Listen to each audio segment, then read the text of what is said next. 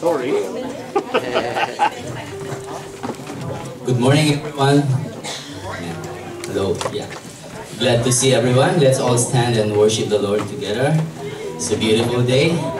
And last last Sunday we have learned what is the message last Sunday? Joy. How to supersize our joy. Yes. And today we are we, we will worship the source, the giver of joy. Amen? Amen.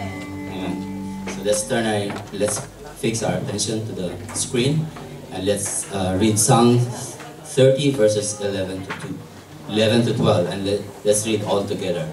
You have turned my mourning into joyful dancing. You have taken away my clothes of mourning and clothed me with joy, that I might sing praises to you and not be silent. O Lord my God, I will give you thanks forever. Amen. We, amen. We won't be silent because we cannot contain the joy that we have Amen. in praising God. Amen. Amen.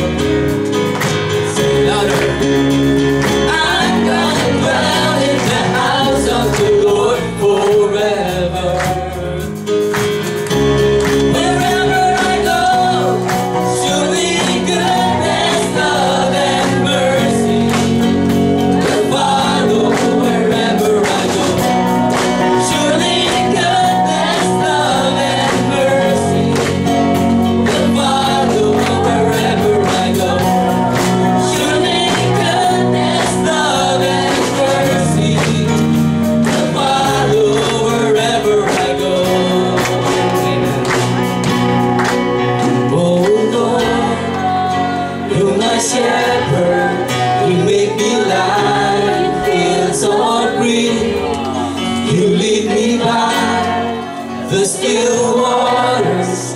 You restore righteousness to me.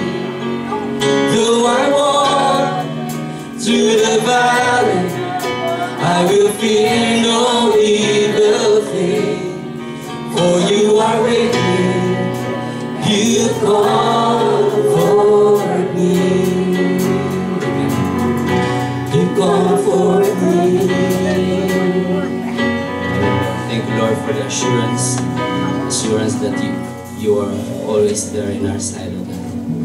Thank you, Lord, for your promise, Lord, of salvation. Thank you, Lord, for the hope.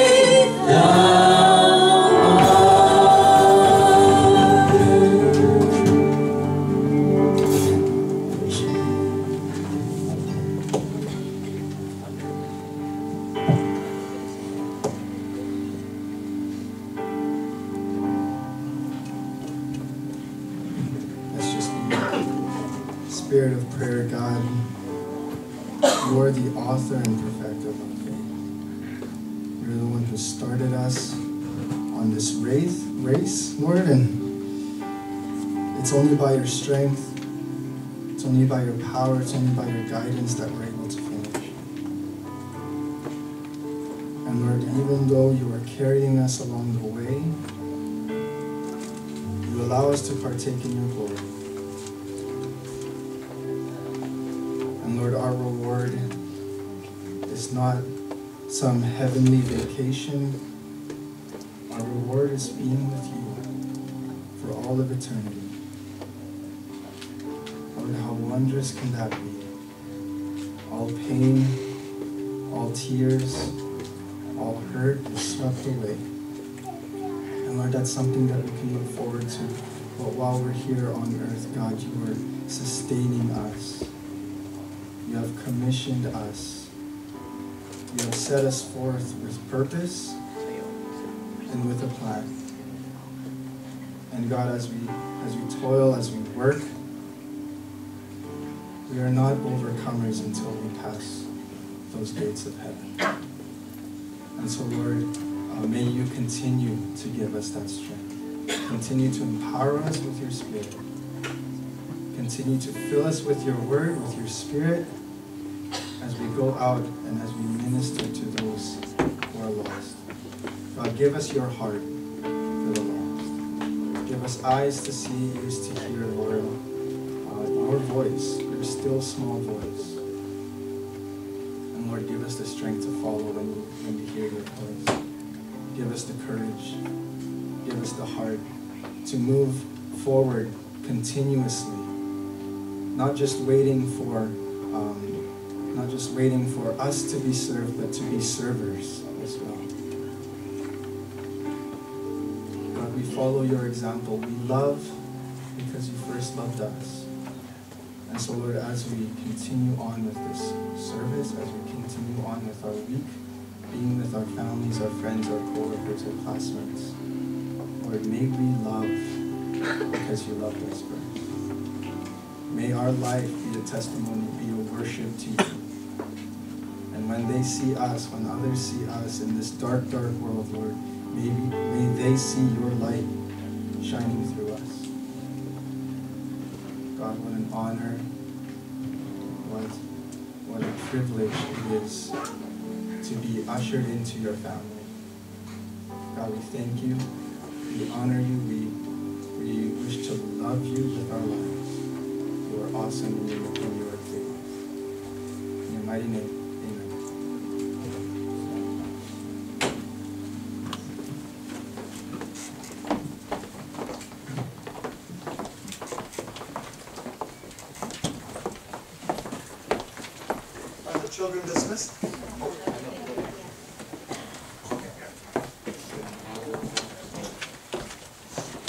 Well, good morning once again. It's Pastor Jim. I'm back with you for a second time.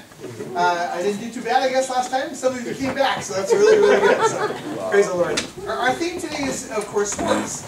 And I think a great way to tee up what we're going to talk about in the sermon is to have communion. This time, You'll be able to examine yourselves and ask yourself the question, am I MVP material in the team Jesus? So a moment, please, as you concentrate on the Lord's Supper. If you know the Lord Jesus as your Savior, uh, you're welcome to come. If you don't know the Lord Jesus, please abstain, because this is only for those who put their personal faith in Jesus Christ.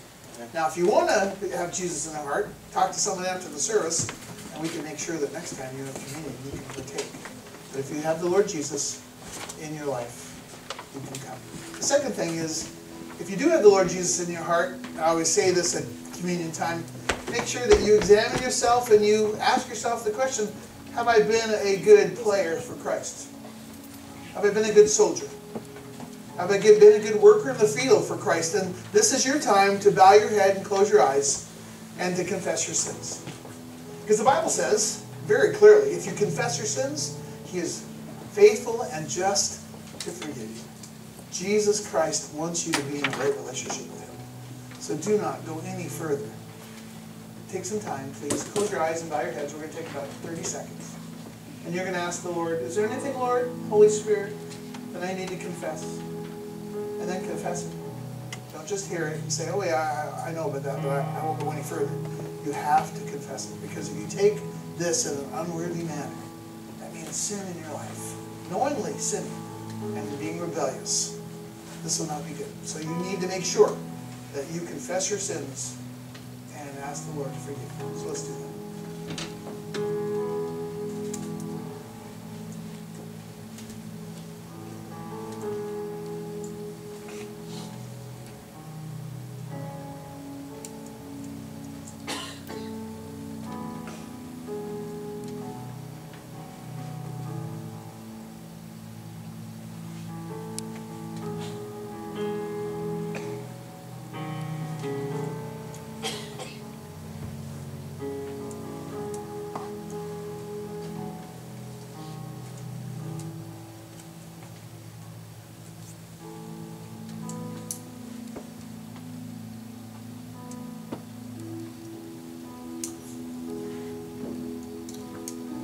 First Corinthians 11 tells us, For the, I received from the Lord what I also passed on to you.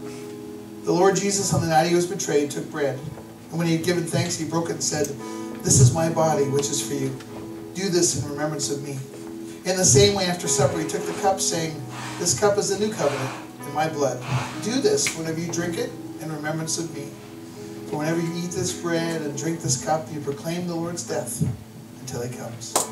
So then, whoever eats the bread or drinks the cup of the Lord in an unworthy manner will be guilty of sinning against the body and blood of the Lord. Everyone ought to examine themselves before they eat of the bread and drink of the cup.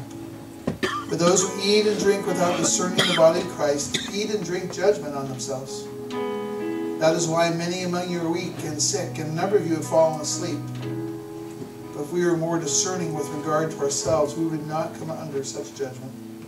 Nevertheless, when we are judged in this way by the Lord, we are doing we are being disciplined so that we will not be finally condemned with the world. So then, my brothers and sisters, when you gather to eat, you should all eat together. Anyone who is hungry should eat something at home, so that when they meet together, it will not result in judgment. And when I come, I will give you further directions. On that night, the Lord Jesus had his disciples around him, and he demonstrated to them true love. by going to the cross. And he said, you need to remember this. And that's why we do this. We don't do it just because we have to, someone tells us. We do it because we want to. Because we want to remember what the act of love that Jesus Christ did for us on the cross. So, if I could have my two brothers come up. Great. Austin and Kevin. All right, so uh, the Lord Jesus on that night took bread. He had taken the bread, he said, This is my body, which is broken for you. Jesus Christ had to go to the cross and all the terrible things he went through. And yet he thought of us, not himself. Truly a servant, as it says in Isaiah.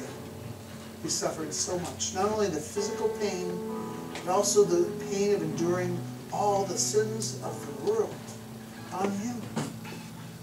Terrible, terrible things. Someone so innocent and clean. What a travesty. But what a joy for us because we result in that blessing through Christ. So I'm going to ask Brother Austin to pray for the bread. Yes, God. Let this be a time where we remember, and a time where we are reminded of your power, your cleansing and your healing power. And we remember as your flesh was torn, we are healed. Mm. And as your, uh, as you went up on that cross, Lord, we found redemption and salvation. And so, Lord, may we never forget. May we understand the gravity and the weight of your pain and your suffering, Lord, so that when we partake in this bread, Lord, um, remember, remember the price for our salvation and our redemption.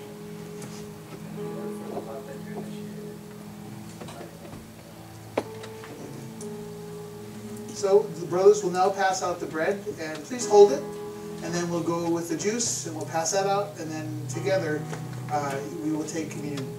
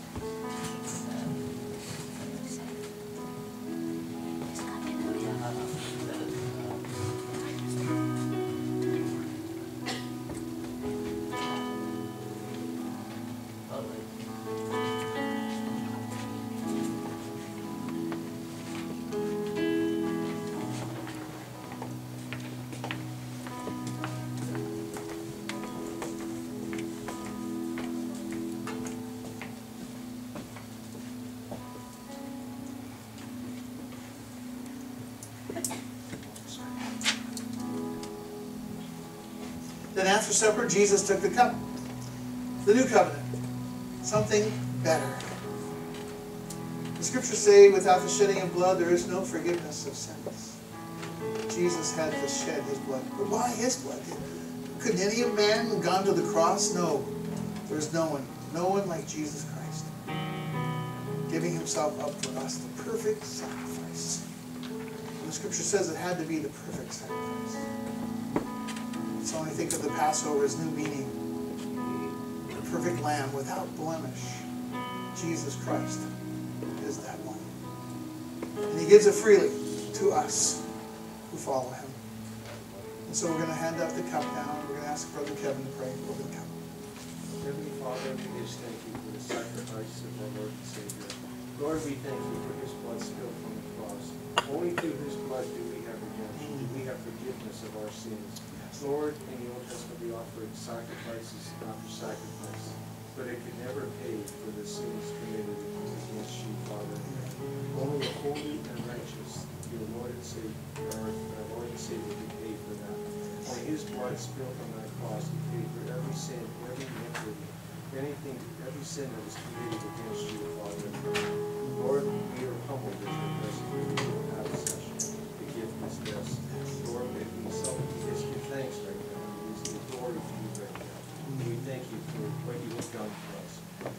praises be to you, Jesus' name. Amen.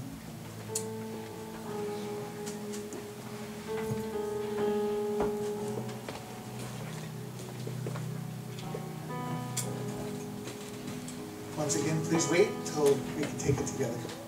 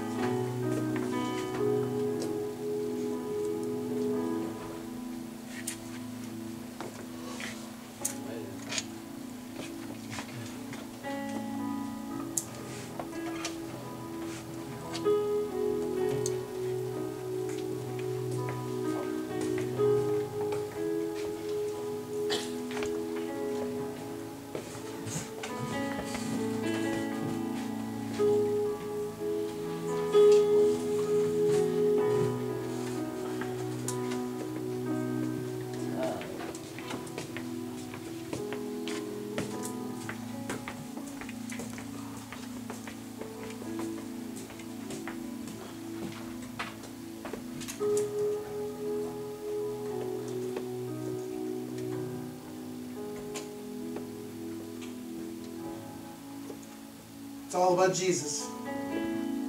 It's all about Jesus. We are nothing compared to Him. And in Him we are everything. It's a wonderful gift. He took all the pain, we get all the gain. Remembering Jesus. The bread first.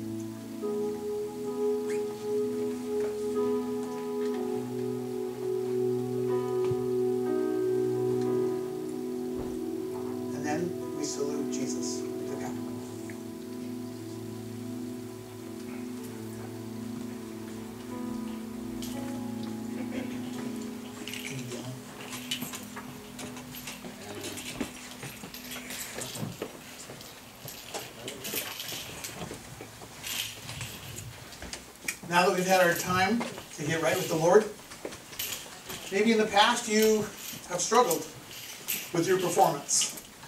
Maybe it's time for a comeback. Let's watch the video.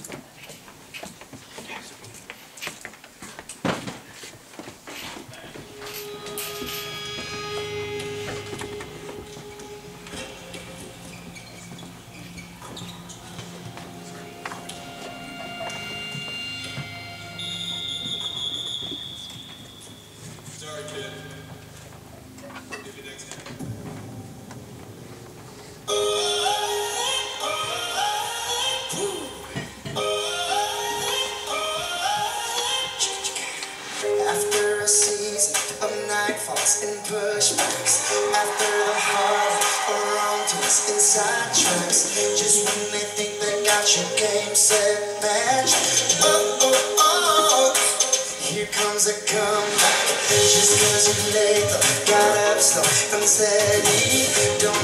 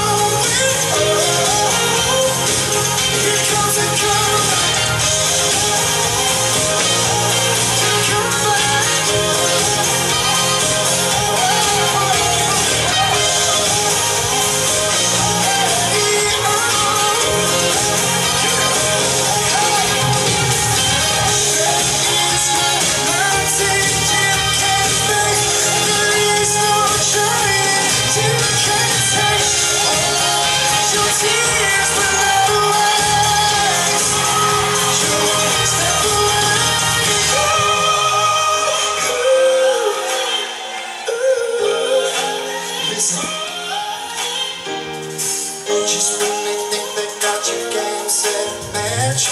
Oh, oh. Here comes a comeback. This is, this is your time.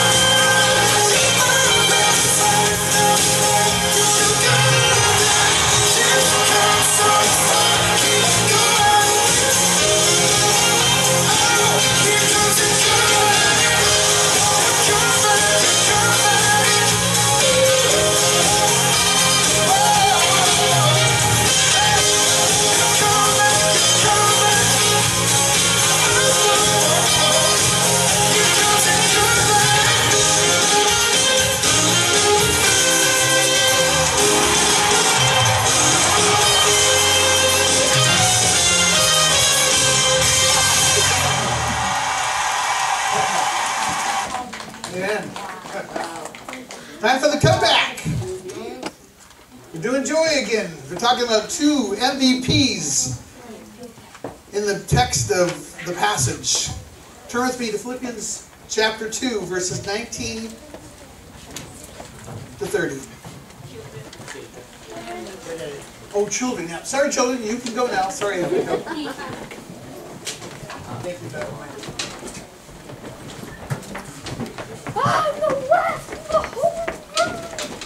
You know, professional sports, we have a lot of Team Jesus players. For instance, Steph Curry.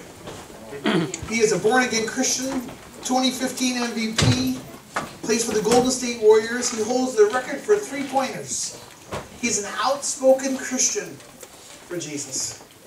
Kevin Durant, KD, he also is a born-again Christian. As a matter of fact, Kevin Durant carries a Bible in his backpack wherever he goes, and he's seen actually reading it in public. And if someone else wants to hear him read the Bible to them, he reads the Bible to them. Kevin Durant, yes, Golden State Warriors. Russell Wilson, quarterback, Seahawks. Anybody Seahawk fan? Yeah. Okay, right on. So he's also a Christian. Bubba Watson, a golfer. He when he won the uh, the Masters, he said, "I'd rather like to thank Jesus Christ, my Lord and Savior." Some pretty amazing names on Team Jesus. Today, I don't know about you, but I see Paul in the passage as the coach. And I see Jesus Christ as the owner of Team Jesus. And if you know Christ as your Savior, you are on Team Jesus. And you have the you have the ability through the Holy Spirit to become an MVP, a most valuable player. Isn't that what it's all about? Helping serve Jesus and making him smile so that one day when he comes back, he says, Well done, My good and faithful player, servant, MVP. Growing up, I loved sports. I never thought God could use me because all I could do was play sports. I knew half of John 3.16, that was about it, but I loved sports. I played sports in junior high, I played basketball, football. High school, I played basketball, football, ran track. In college, I played basketball. I just couldn't get enough sports. And then I realized that sports were training me after I accepted Jesus to be a better team player. Because I don't know about you, you probably played sports, but there are a couple of guys and persons who were prima donnas. They would keep the ball to themselves, you pass them the ball, and they would shoot. They wouldn't pass. You just pass them the ball, they would shoot. They wouldn't pass. And it was terrible shots they were taking. And it's so frustrating when you're on a team and you got a prima donna who is taking all the shots, and they're terrible shots, unless you're Steph Curry. You can make it from a half court, no problem. It's all about Team Jesus. Glorifying Him, not making ourselves glorified, but glorifying Him in every way. So I want to get warmed up today. And I don't know if you noticed on your sheets, uh, there are some signs I put there. Yes, that's right. And so uh, right here, uh, yeah, to there is going to be go team, and you, over here is going to be Jesus. Okay, so we're going to have a couple cheers, get you warmed up for this. Ready? So I want to be loud and proud for Christ. So we're going to start. Go over here, okay. You guys are going to say, "Go team." Go team! Okay. Do you, Jesus people think you can beat that? Okay, try Jesus. Jesus! Ooh, okay. Well, that was Oh, I'm really okay. Well, I'll give you another chance. You guys ready? Go team! All right. Little one more time. Go team! That's better. Okay, and then. Jesus! Oh, wow. Okay, now we're gonna put it together, right? So when I point to you, you yell. Go team! Jesus! Go team! Jesus! Go team! Jesus! Go team! Yeah, right on. You're warm now. This is good. Let's read the passage. Verse 19. I hope in the Lord Jesus to send Timothy to you soon, that I also may be cheered when I receive news about you. I have no one else like him who will show genuine concern for your welfare, for everyone looks out for their own interest, not those of Jesus Christ. But you know that Timothy has proved himself because as a son with his father, he has served with me in the work of the gospel. I hope therefore to send him as soon as I see how things go with me. And I am confident in the Lord that I myself will come soon. Verse 25. But I think it is necessary to send back to you Epaphroditus, my brother, co-worker, and fellow soldier, who is also your messenger whom you sent to take care of my needs. For he longs for all of you and is distressed because you heard he was ill. Indeed, he was ill and almost died. But God had mercy on him, and not on him only, but also on me, to spare me sorrow upon sorrow. Therefore, I am all the more eager to send him, so that when you see him again, you may be glad, and I may have less anxiety. So then, welcome him in the Lord with great joy. There's that word, verse 29, joy. And honor people like him, because he almost died for the work of Christ. He risked his life to make up for the help you yourselves could not give me. So the two stars of this passage are Timothy and Epaphroditus. Timothy means honoring God or honored by God. Paul met Timothy on his first missionary journey and found out that through uh, his mother and his grandmother, Timothy came to Christ. There did not seem to be a father figure in the family, so Paul kind of took that on. 2 Timothy 1 2, he says, To Timothy, my son. Now, on a second missionary journey, Paul takes Timothy with him and he begins the mentoring process in the place of John Mark. So let's pray and ask the Lord to bless this time. Lord Jesus, we are so thankful today that we can be on Team Jesus. And when we give our life to you personally, we pray that you you would allow us to bring our A game when we serve you daily. Help us to learn from these two MVPs and be better Team Jesus players than we are now. Holy Spirit, as our divine trainer, help us to do what is best for Team Jesus at Living Word Church. In Jesus' name, amen. Alright, so this is where it gets really crazy. If you don't want to invite me back next month, that's fine. But uh, if you were at a sporting event, let's say a, a basketball game, this might be how these guys are introduced to you. Good morning, Living Word Church. Put your hands together this morning for the Lord's servant Timothy. He is originally hails out of Derbe, where he studied under the University of Apostle Paul.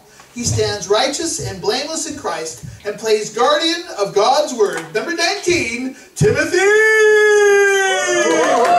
Right. Thank you. The first thing about Timothy, three things. Says number one, a team Jesus servant mindset. Remember last week we talked about the Apostle Paul? He had a mindset for team Jesus as well. Well, Paul recognizes this in Timothy as well. In verse 20, Paul says, Timothy and him were like minded. The mindset was the same. Do you know that in Romans chapter 16, Paul greets 26 people, but only one of them, Timothy, came to his aid. Only one of them was willing to come and be with Paul in prison. He had a team first mindset. He didn't think of other, himself first, but he thought of others. In a church, in a church that's Team Jesus, is so important to think of others before ourselves because that's how our owner thinks Jesus Christ. He thought first to go into the cross for us. Secondly, Timothy had a conscious thinking of self second, which goes along with that. In Philippians 2 7, it says, He made himself nothing, taking on the very nature of a servant, Jesus Christ.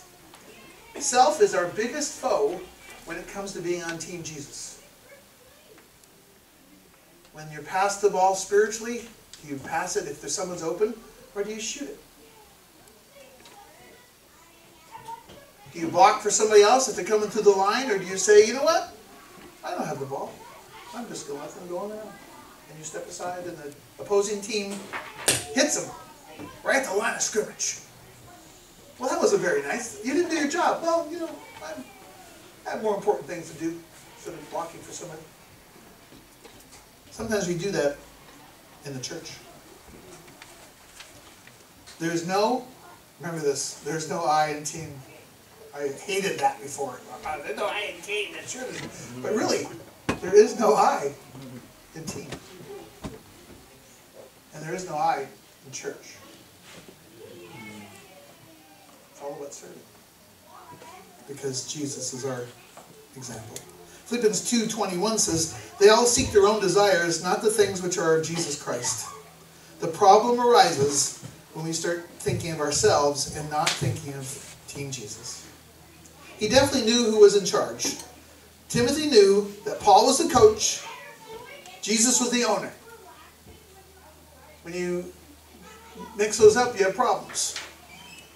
Paul and Timothy served their owner, Jesus Christ. Matthew 20, 26 says, He who wishes to be great among you must be the servant of all. Do you know that Steph Curry is a leader in assists? How can this guy score over 35, 40 points a game, make shots from half court, and still be a major contributor to other people's scoring? LeBron James is the same. You've ever watched him play basketball, you see, man, the guy, he isn't even looking, and he'll throw you a pass. It's a good thing the guys that are getting the pass are looking, because it could be bonking off their head or their chest. The mindset is to make everyone else better on the team. In the church, the mindset is to make Jesus Christ look the best he can in the world around us. So we aren't churches that are starving for money or finances. We're churches that give generously.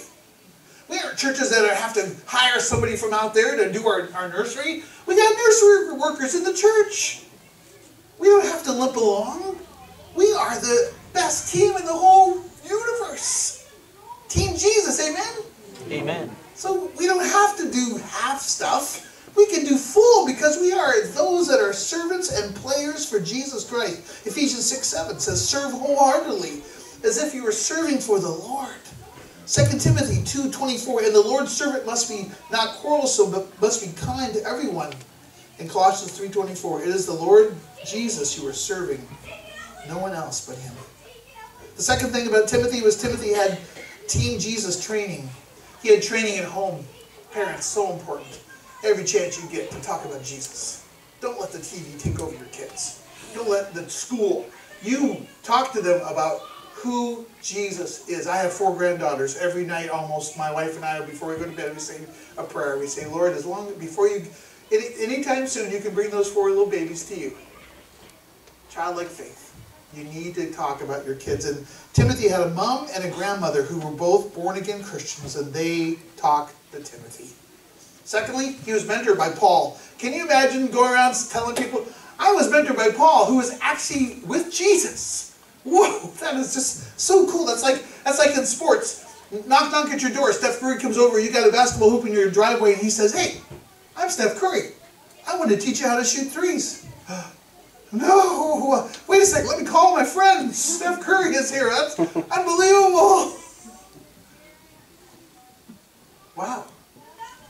He was mentored by Paul. Mentoring has been lost over the years. It should be a time where you walk with somebody, and we're so busy today, and people don't see the, the, the importance. Mentoring is so important because we need to pass on to others the things that we have learned.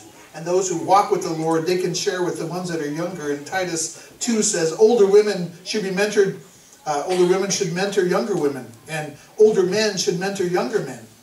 Proverbs 27 17, iron sharpens iron, as one man sharpens another. You know what happened after he's mentored? He sent him out. Paul says, You know, I can't go there, but Timothy's coming. Timothy began to do the work that Paul was doing. He got the job that Paul was doing. And Timothy could do it, you know why? Because he had a good foundation. He had a good mentor. He had a mentality that says, I want to serve Jesus wherever I am, and Jesus, you send me. That's like being on a team, and I played football, and I know sometimes guards and tackles got nothing. It's always the running backs. It's the quarterback, the guy that throws a touchdown. Who thinks about the linemen? But I tell you, linemen are very important. If they aren't blocking, those runners aren't going to make any yards. They're going to make deficit. They'll be like minus 300 yards in a game. And you want to get plus. It's the linemen who open the line so the running backs can go through the slots. So no job in the church is not as, as inferior. Every job is important. Whatever you have, your job in here in Team Jesus, it's important. God would not have put you there if it was not important. So just because you don't sing up here and you out there and you may just read or you may shovel the driveway or whatever when it snows, it's important. It's all important on Team Jesus. When I was 27 years old, I was youth pastor at Sunshine Ridge Baptist in, in Surrey on Scott Road, right out of seminary, green behind the ears. My, my pastor, he resigns after six months. And so they said, oh, Jim, you can take over for a while. Oh, oh, yeah, right. So here I am sitting behind this big desk. I can, you know, hardly see over it. People come in, couples. I've been married four years. They're telling me their problems in marriage. Uh, it's like, uh-huh. And a long time I'm praying, Lord, give me wisdom. I need, I don't, I've never heard of this problem before. Ah, so, you know, my few years of working before and seminary, but it was on the job training.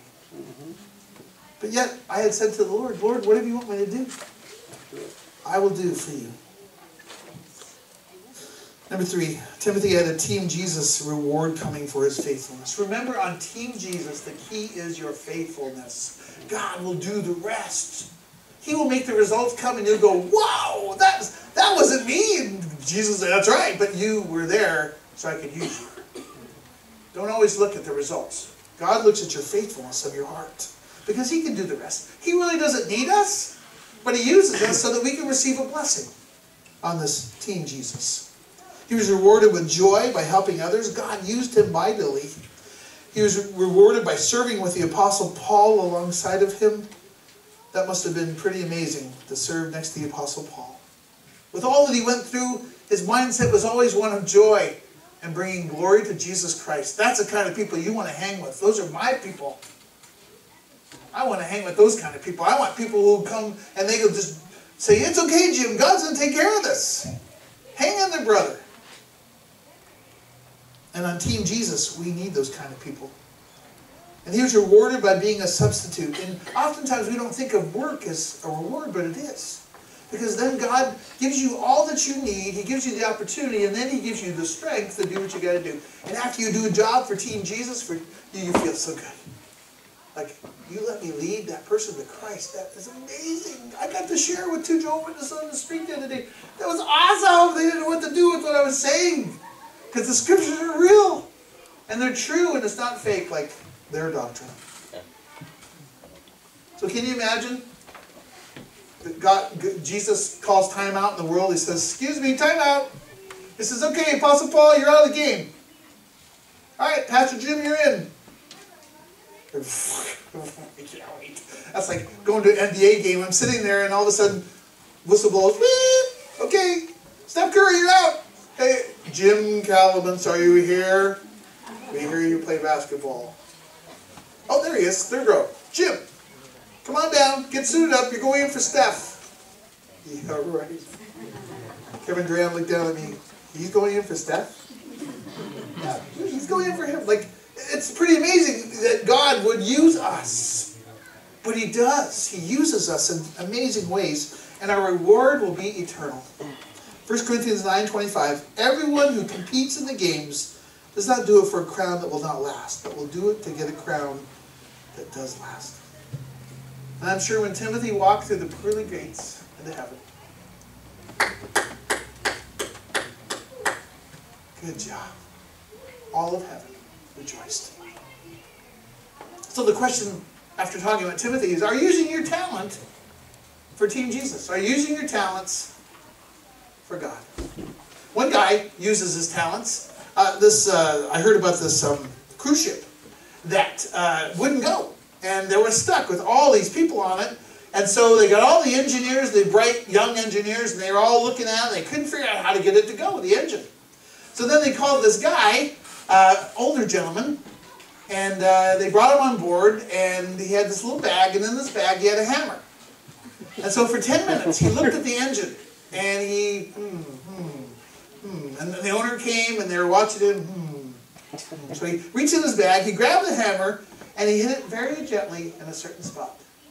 And as soon as he hit the engine, it lurched into power, and everything went on. And they're all happy. And the older gentleman came to the owner and said, that'll be $10,000. And the owner says, you're only there 10 minutes. Give me an itemized invoice. So the next day he sent him an itemized invoice. And it said this. $2 for the hammer. $9,998 for knowing where to tap. Timothy was trained to know where to tap spiritually. God will not send us out on a job or get us into the game if we are not trained. We need to make sure that we are trained and using the gifts that God has given us. Timothy had those gifts. Are you willing to get in the game? Because all of you have gifts. There's not one of you out there that doesn't have a gift, if not many. But you need to put it to work. You need to get off the bench and into the game. Okay, the second person is Epaphroditus. And indulge me one more time. If you were at a sporting event, you might hear this. Brothers and sisters in the Lord at Living Word, put your hands together for the Lord in leading Paul to make his second pick on his list of God-honoring members of Jesus' team. He is out of the town of Philippi, standing tall for the Lord, a charming guy in Christ who can take a punch from Satan and still stand in the power of the Lord. The second servant of the Lord who almost sacrificed it all. Number 24, Epaphroditus.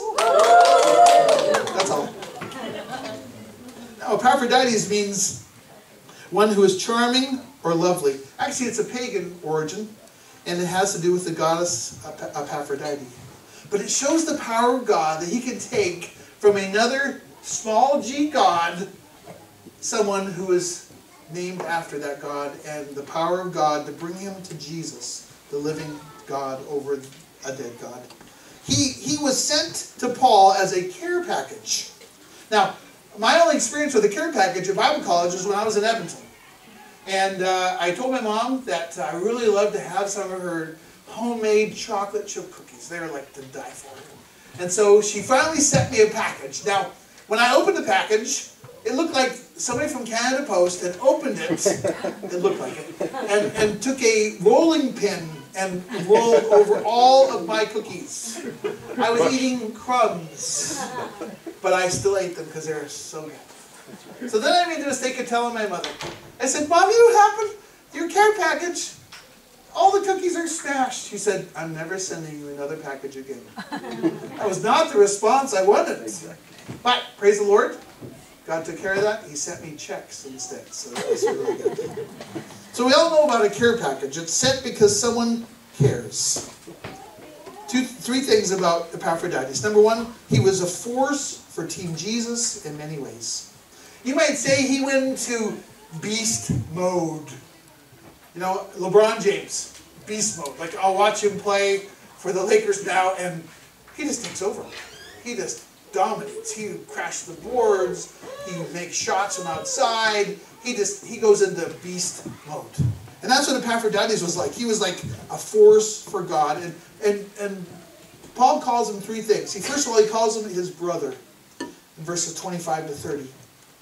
They were had common things. And on a team Jesus, we become common with each other because we have the same Holy Spirit. And the joy that Paul had, Epaphroditus had. And these two guys were like buds in Christ. They were they're having a bromance in Christ. They were they were close because they had they were they were brothers. And I know in churches sometimes you can you can connect with someone so closely that it's more than it's even closer than your own biological brother. And that's what was happening here. He was his brother. Secondly, he called him his companion.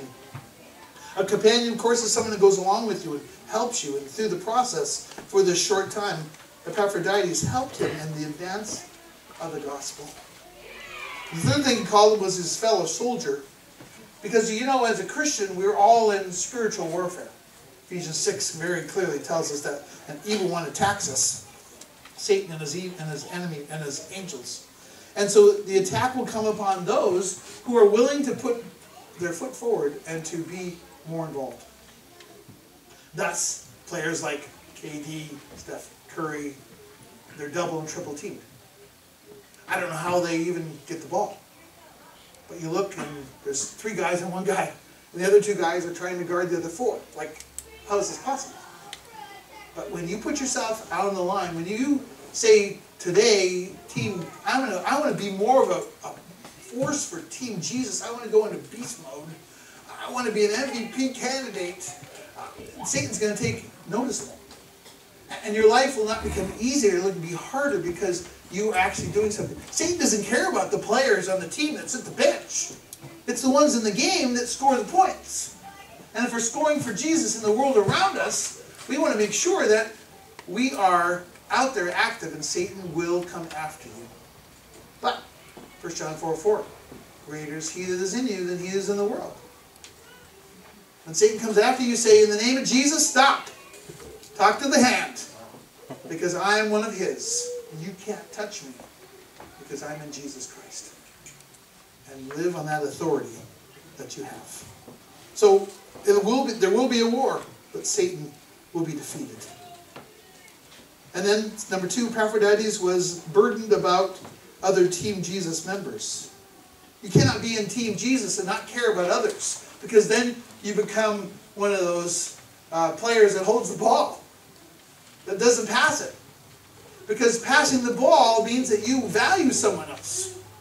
No, you can't play with my ball. This is my ball. And if you keep pressuring me to pass the ball, I'm taking my ball home.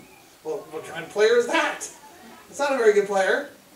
In a church, when you're a Team Jesus player, you pass the ball. You block so someone can get a good shot. You do all those things that will encourage others because it's not about you.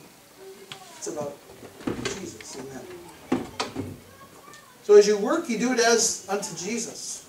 So whoever you meet in the street this week, you serve them as unto Jesus. It's almost like Jesus was there, or at least Jesus sent them your way, and then you look at them totally different than before. Because before was all about you. But when you're in Team Jesus, it's all about him and them. No I in team. He was concerned about Paul, the long, dangerous journey. He was concerned about his own church and what was going on there and his feelings towards them. He was willing to reach out the gospel and to build this fellowship. Through this process, we need to be more of doers than just takers. You can come on Sunday morning, and get all the instruction. I can show you the place. All right, you're going to block here, you're going to go through there. I remember football practice, we always had the whiteboard. X and O, X and O, X and O. And on paper, it looked good. On paper, like we're going to win every game. But until you execute the play, you will not win a game. So you need to execute. Be the player that God has called you to be. And number, and then Epaphroditus was a blessing to other team members. Jesus, a blessing to Paul. Wiersbe says it would be a tragedy to go through life and not be a blessing to someone. In our churches today, there are those who just come, sit in the pew, and leave, and they never impact anyone's life. They never throw a block for anybody, or throw them a pass, or bounce past them the ball so they can score a, a hoop. They just come, take in. Oh, those are great plays. I love the plays in this book. They're amazing. This book is life. I'm going to live by this book. And they never, ever become involved in team. God is calling you to be part of the team. It's not enough just to say, you know what, I'm a Christian, I don't need to go to church. No, that's totally wrong. Hebrews says very clearly, do not forsake the assembling of yourselves together as the manner of some is today. But get meet together, encourage each other until Jesus Christ comes back again. The church is to be that well-oiled team. So Epaphroditus was going home. He was a blessing to Paul. His time was up. But even Paul here makes sure that he gets a good welcome because you know how people are sometimes in churches. They talk. Oh, Epaphroditus couldn't make it. So the last verse 28, 28 29, 30, Paul sends a recommendation that will knock your socks off.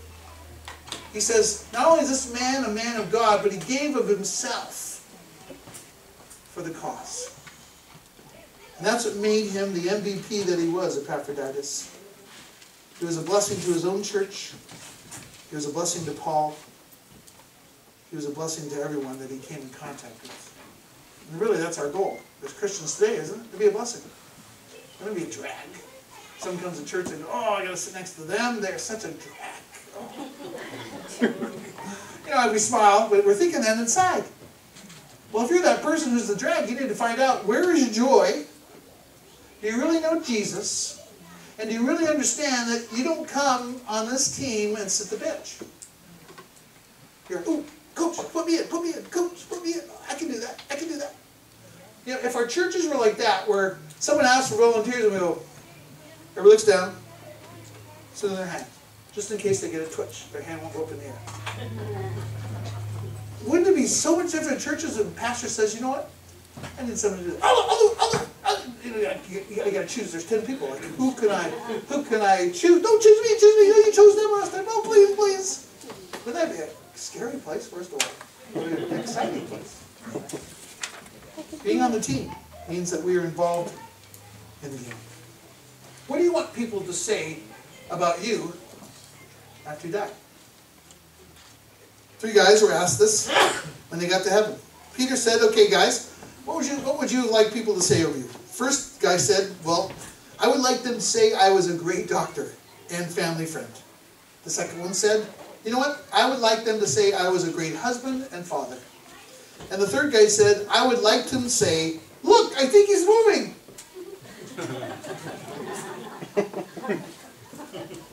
a follower of Jesus. What would you like people to say about you? That you hardly noticeable. You came and sat in the church. Oh yeah, I think she attends it. Or man, were they ever a force for Christ? Wow, I am so. I wish we had ten more like them. And what's really amazing is when one day you stand before Jesus and He says, "You are awesome." all the things you did, I asked you to do, and you did them. All of heaven, rejoice, for my servant has come home. And I am so pleased with everything that you have done.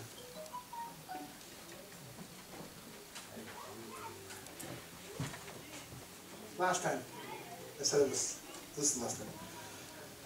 This is what I hope, that when you get to heaven, God will say about living word. Yo, angels in heaven, put your hands together for the brothers and sisters of Living Word Church to the glory of God. They are originally out of Langley, BC, and they rocked the town with good deeds of love in Jesus. Many came to Christ and were brought into the light. Give glory to God in the highest. Archangel out. My prayer is that you will be great. MVP. Living Word Church people.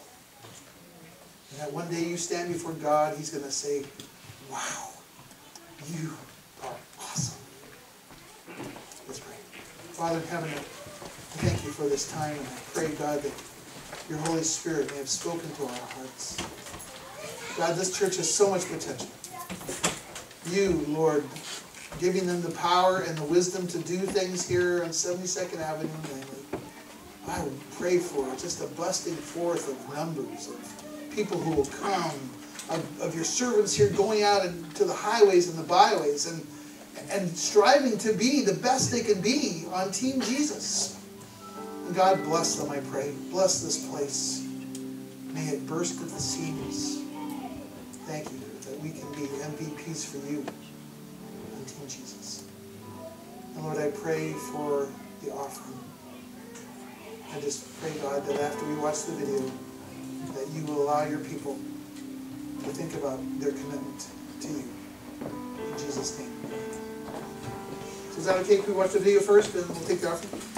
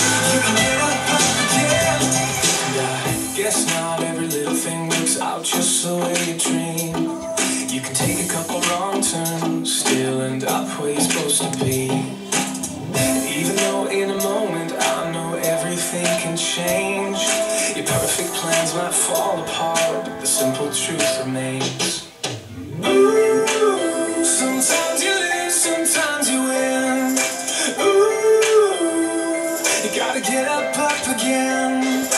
Ooh,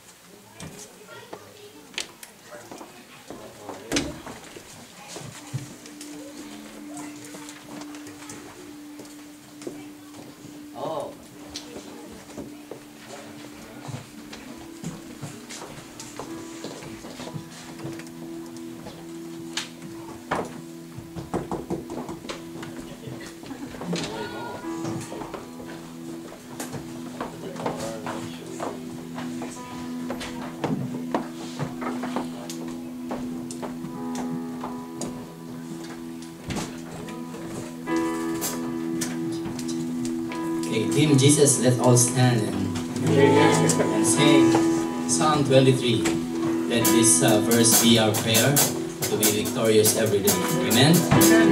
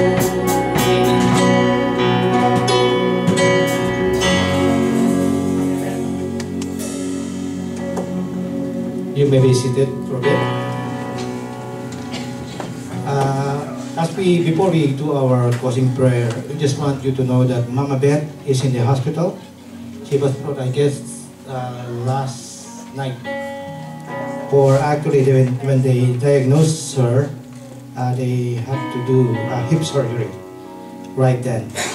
So, as she took there, was able to see her. And actually, she was sleeping. And actually, me and Eileen is planning to visit her after the seniors. So this, so please pray for her and uh, for her continued, uh, his continued healing and of course uh, assurance that God is with her. Okay. And also happy birthday to Brother Don this coming April 8th. And also Daniel celebrating as well this week. And yeah. And we're so blessed to have Pastor Jim ministering to our hearts, giving us for God's glory. And we'll see him again in May, I guess. That's willing. And I think who among you actually is so proud to be in Team Jesus? Can you raise your hand? Yes. Amen. Amen. And may the Lord bless you as you continue to seek to do your best for His glory. God gave His best for us in Christ will it be proper that we also give our best for Him, right? Let us pray. Father, thank you for the privilege of being in your team. It's not by accident, it's a choice. You chose to reveal yourself to us in Christ. You chose to die on the cross that we might be saved. And now, Lord, we are making the decision to choose you as our Lord and Savior, that we will serve the rest of our life. Not only individually, but as a family, even as a church. May you make us worthy, Lord, to be serve you and to honor you in everything we do the best way we can. And we know, Lord, we cannot do it ourselves, but by your Spirit and by your power and by your grace, we can do it. In Jesus' name. And now, Lord, dismiss us with your blessings as we go through with our respective places. May you make us, Lord, your hands and feet that will serve the people around us. And now to him who is able to keep you from stumbling and to make you stand in the presence of his glory, blameless with great joy.